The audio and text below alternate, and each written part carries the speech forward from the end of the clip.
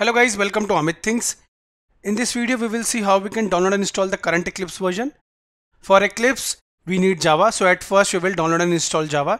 Then we will install Eclipse. So let's see. We will see how we can easily download and install the current Java version. So let's start, go to the browser.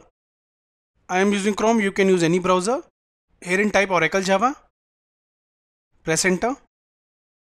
On pressing enter, the official website is visible click on it. We have reached the official Oracle website for Java. Directly click on download Java to download it. We have reached the downloads page, go below. The current version is 18.0.2 Java JDK. Let's download it. Let's download the exe file, go below. We want for Windows, so I'll click here. And we want the installer file that is x64. Remember that we don't need JRE now to work with Java, we only need to install JDK. Click on download here for x64 installer. Now the download will start. It's only 153 MB. Let's wait for a few seconds. We have downloaded it. Double click on it to install. Minimize this. Here it is guys 18.0.2 installation. Click on next. It will get installed under the following location. You can also change the location but I'll keep the default. Click on next now the installation started. So the installation is complete. Click on close. So we successfully installed java. Now we will set the path. Let's see wherein we installed java. Go to c drive. If you remember we installed it under program files.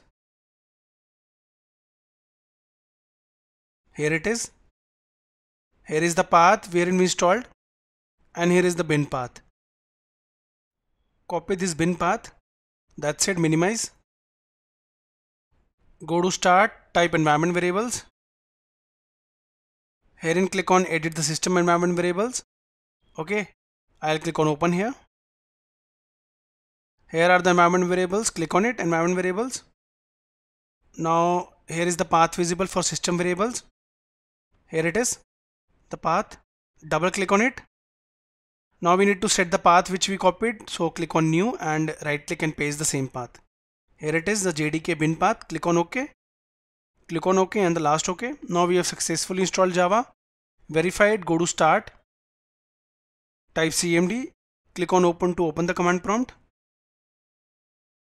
Now here it is. I'll type Java space hyphen hyphen version and press enter. Here it is Java 18.0.2 that means we successfully installed Java current version. I'll close it. Now let us see how to download and install the current Eclipse version. Go to the browser. Type Eclipse. Press enter. On pressing enter, the official website is visible eclipse.org. You can click on it. Now the official website is visible. It will directly take you to the downloads page. Now let's see the current version. Current version is Eclipse IDE 2022-06 and it is available for 64 bit. Click on download. So this works for both Windows 10 and Windows 11 now I'll now I'll directly click on download to download. So the download started. It's only 114 MB let's wait. So guys we have downloaded the exe file of Eclipse. Double click on it. Minimize this now here you can see different Eclipse versions are visible for Java for enterprise Java, C, C++, embedded C++, PHP okay but we want for Java so I'll directly click on Eclipse IDE for Java developers. Now here you can see I told you Java is a must before installing Eclipse. So it automatically took the Java path which we just installed 18.0.2 okay it took the same path that's it and our Eclipse will get installed in the following location. Okay. You can change the name or you can change the installation folder but I'll keep the same. Rest keep as it is. Start menu entry and desktop shortcut. Now I'll click on install. Agreement you can read it. Click on accept now. Now the installation started. Let's wait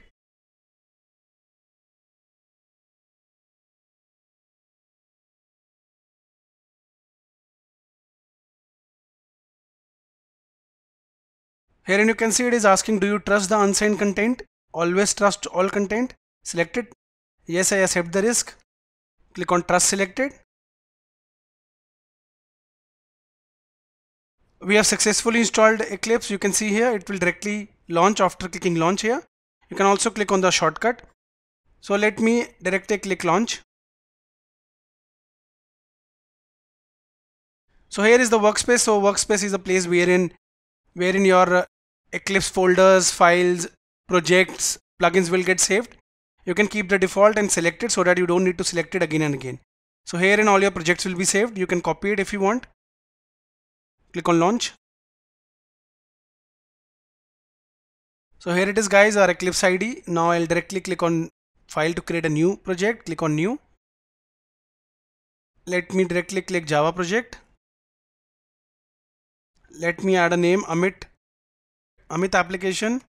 Location is the following. If you remember Eclipse workspace wherein our project will get saved. So that is the same location and it automatically entered our project there. So the project file will be here. We will see this later. Execution environment, it automatically took it in. You can go for project specific. That is the following we installed right now. I'll go for the project specific. Rest keep the same and click on next. Click on finish. Now our project will get created you can uh, don't create leave it because we are creating a simple application. So click on so cancel this and our project is visible. Okay now right click new create a new class file. Let me name it demo. I'll add public static also and I'll leave this. It's a demo application. Click on finish. Now here it is. Here is a demo.java file under under Amit application project. Now I'll remove this and add a few lines. So I'm printing a line.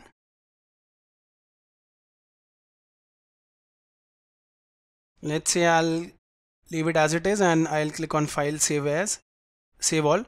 Now to run it I can directly go to here under project and I'll click on run as Java application the same click on it.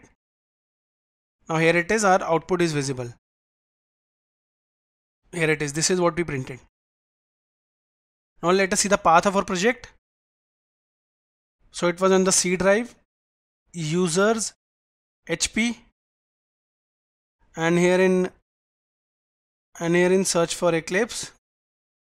Herein you can see Eclipse workspace. This was our place wherein we created our Eclipse and I told you all the projects will go inside it. So here it is. Our project is here. Here is a demo.java file. Same okay the same file. So guys in this video we saw how we can easily download and install the current eclipse version. We also installed the current java version. Thank you for watching the video